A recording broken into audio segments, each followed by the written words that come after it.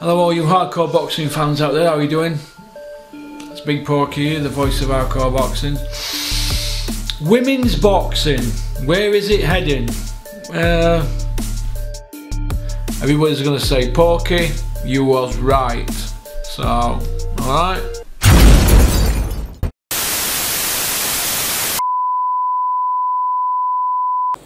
Hello, all you hardcore boxing fans out there. How are you doing? It's Big Porky here the voice of hardcore boxing. Right, straight in then, no messing about. Ring Magazine have just done rankings. Fury's obviously champion, Joshua's number one, Dillian Whyte's in at number two.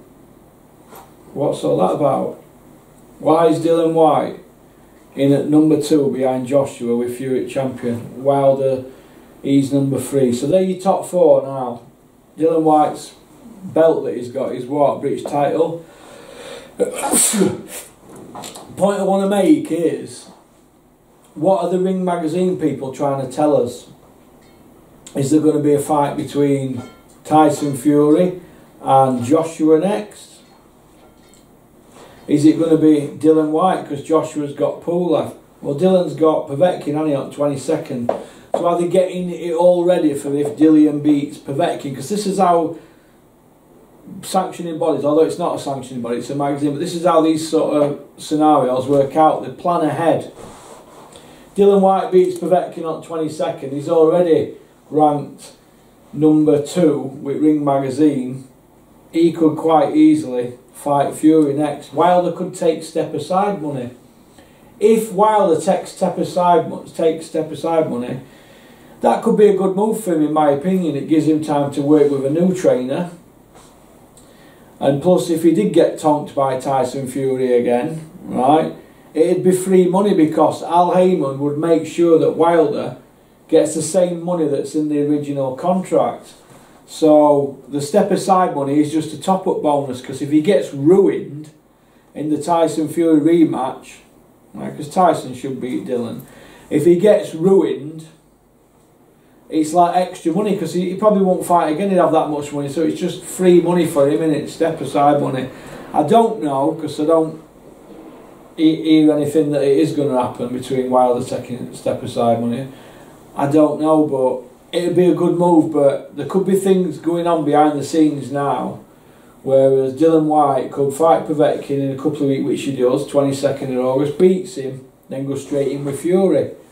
It's very, very, very interesting because Joshua's not going to fight till December, and why should Dillian have to wait for him? Although he had the chance to fight him last year, didn't he?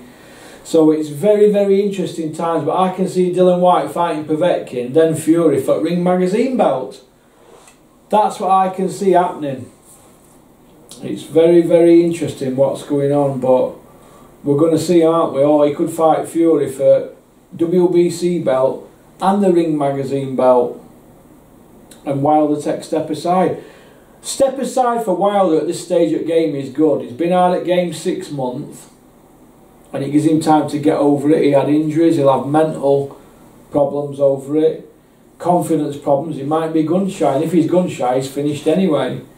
And he'll have time to work with a new trainer, and you're getting millions of pounds in your pocket, and you're still getting to fight for the same contract that you've got on paper, but you're just fighting a bit later and getting a few million in your pocket in the meantime. So it'd be a good thing for Deontay Wilder to do that, I think. Uh, take step aside, but I don't know. It's just we're all guessing at the moment, aren't we? But as Alan Smith would say, Bean. Exciting times ahead, Johnny. This is why we love this sport so much.